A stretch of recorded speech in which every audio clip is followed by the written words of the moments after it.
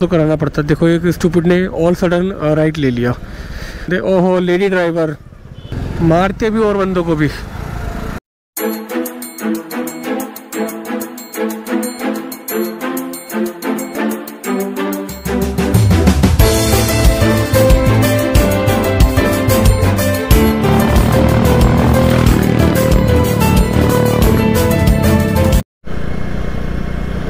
Hello guys this is Azam and you watching so rider so कैसी है मेरे YouTube family I hope आप सब ठीक होंगे। मैं भी एकदम मस्त चंगा भला आप लोगों की दुआओं से।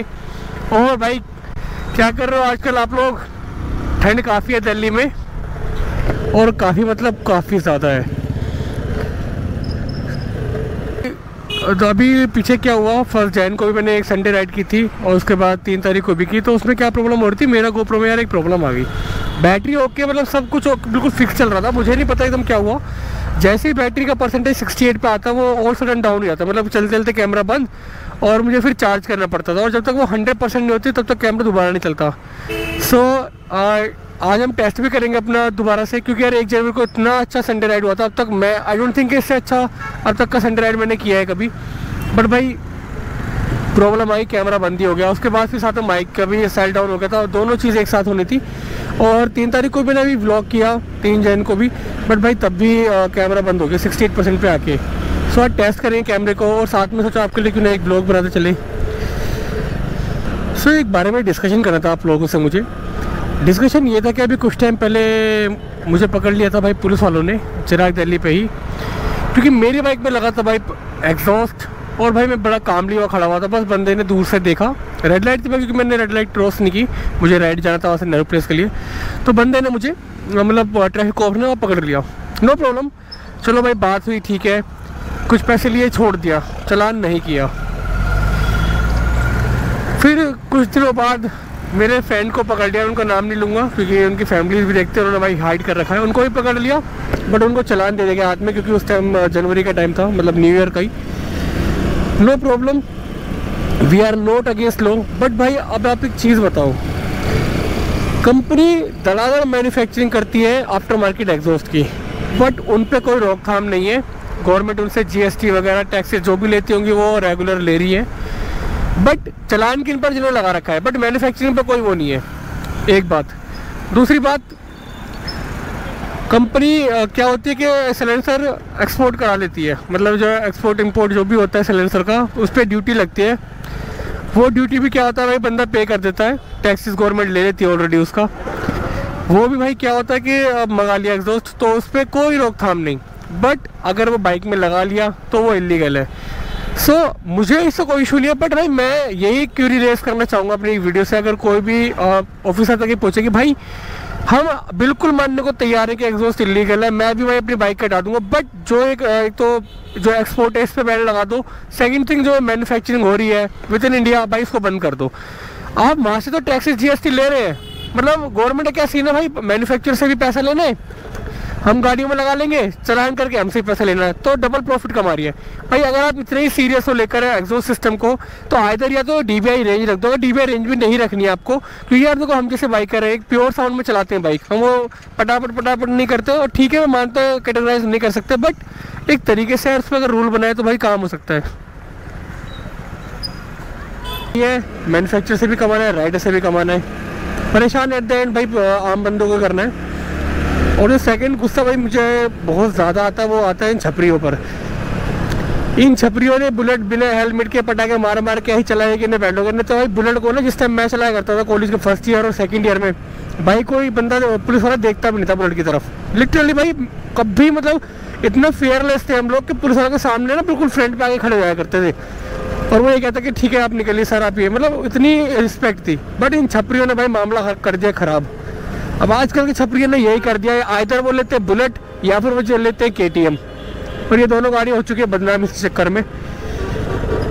जिसको प्रॉब्लम होती है, हम जैसे राइडरों को भाई। और जो छपरी है, ये तो जिस दिन, और हाँ एक चीज़ और, जिस दिन मुझे पकड़ा था, उस दिन यही सिनेरियो होता। भाई, मेरे सामने से एक बंदा पटाखे मारते हुए ले गया बट भाई, उनको किसी ने हाथ नहीं दिया। बट हमें क्या किया भाई, सीधा मैं आराम से खड़ा होता, इसी तरीके से बंदे ने सिंपली हाथ दे दिया कि आ जाओ जी एग्जॉस्ट लगा रहा है। जबकि मेरी बाइक बंद थी और मैंने कोई भी या तो फास्ट लगा खड़ी की, बिल्कुल कामली आगे खड़ी करी थी बाइक और अच्छा रहा कि टेस्टिंग मैंने भाई अच्छे से की बट कहीं भी कैमरा है ऑल सडन ऑफ़ नहीं हुआ पावर ऑफ़ नहीं हो गई।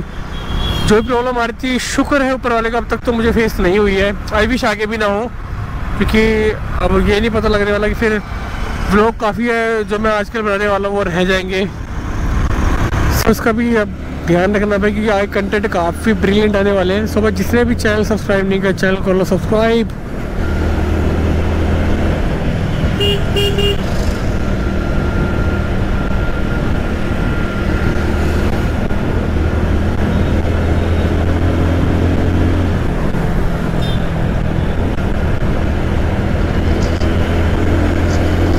और मैं बताना भूल गया, आज पिलिया भी मेरे साथ है, आपने देख ही होंगे अब इतनी देर से बट भाई फिर भी इंट्रो तो कराना पड़ता है। देखो, एक स्टूपिड ने ऑल सडन राइट ले लिया।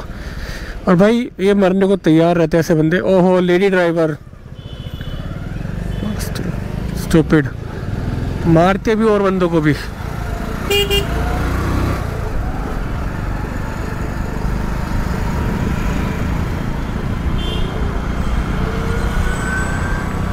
भाई साहब, अकड़ एक अलग ही लेवल की है।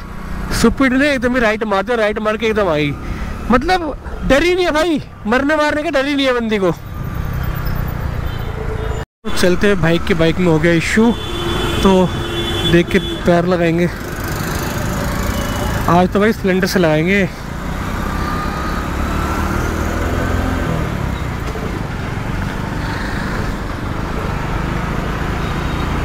भाई, सारे काम करने पर भाई रास्ते में किसी को इग्नोर भी नहीं करना है। उसका भी ध्यान रखना है बिल्कुल।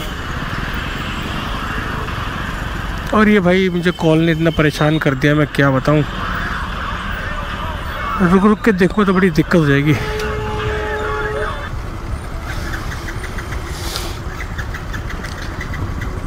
मत करो बदल मत करो, वो ओवर हो जाएगी फिर। होनी होती तो हो जाती अब तक। कहाँ जाओगे वैसे निजामुद्दीन? चलो मैं उस साइड जा रहा हूँ, निजामुद्दीन तक तो छोड़ दूँगा भाई।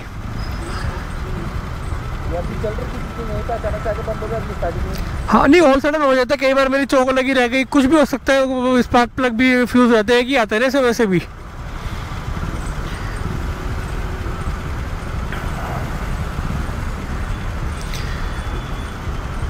भाई, हमेशा दूसरों की हेल्प करो। कल आज ये भाई हो सकता कल अगर मैं इनको ना देखो इग्नोर करके निकल जाऊँ।